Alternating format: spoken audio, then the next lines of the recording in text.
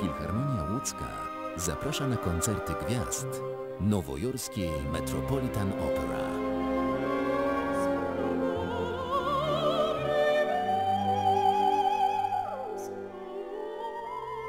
Początek cyklu 20 stycznia w Filharmonii Łódzkiej.